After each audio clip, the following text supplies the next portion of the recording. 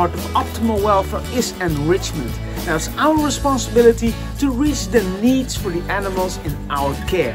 And we can do that with different smells, substrates, or giving food items in a lot of different ways. All to just take care of our animals the best way possible.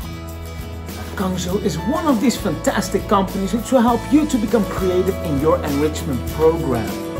And they make some very cool devices. Now, us at Suspenso were lucky enough to receive some of them.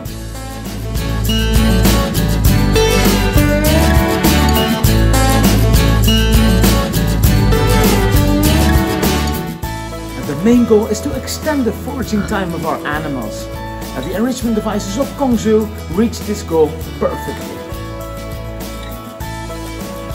Kong Zoo makes some very cool devices and I have some of my favorites. This one for example, a ball, color is kind of brownish which blends into the environment. I can open it, put my reinforcement food in there, whatever you like. There are holes in there. And that assures you that the foraging time is extended. So a very cool device. I have another one here, same thing, I can open them up this side, but also on the other side.